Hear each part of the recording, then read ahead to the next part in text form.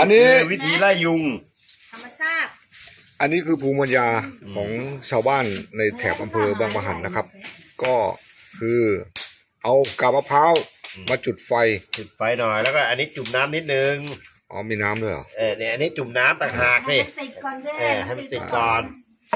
เดี๋ยวรอก่อนจุดเพื่ออะไรเหรอครับ จุดก็คือไล่ยุงนะครับแม่อันนี้ก็คือยากันยุงดีๆนี่เอง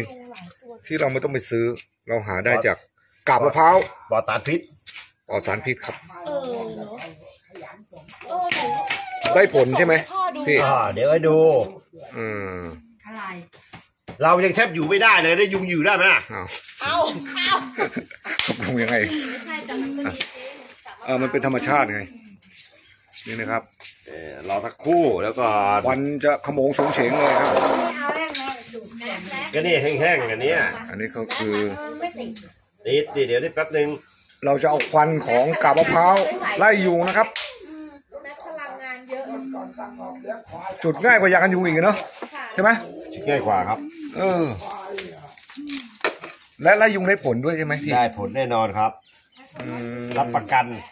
เดี๋ยวจะหายหมดเลย ถ้ายุงไม่หายเราก็หาย อันนี้คือภูมิปัญญาพื้นพื้นบ้านเลยนะฮะซึ่งคนมองข้ามกันไป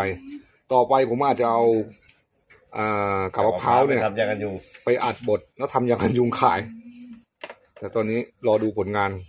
ก่อนนี่ง่ายๆแค่นี้เองไล่ยุงได้เขาไปดังหลังตะแปะหน่อยสิอืมมันจะได้มีลมโอเคเดี๋ยวก็รู้ว่ายุงหรือเราจะอยู่ เอานั่งดมยากันยุงนะหรือว่าอ้าวกินมันธรรมชาติหอมกว่ายาไงกันยุงอีกเอออะมะพร้าวเนี่ยเขาไม่เผาใส่ขนมเปียกปูน เออ อ่า เขาไม่ใช้สีนะ คนโบราณ นะเขาเอากาบแข็งๆอะแล้ววัสดุเนี่ยเหลือใช้เยอะแยะมากมายเนาะอืมทำไมคนไม่คิดกันวะเดี๋ยวเราไปใส่นมไม่โตไปซื้อยากันยุง เพราะว่ามันหายากนะพี่แป๊ะอืมแถวมหาชัยเยอะแยะ อ๋อ ตอนนี้ติดโควิดอยู่ ไปไม่ได้แทนไม่ได้ โอเคครับ ยากันยุงกาบมะพร้าวครับ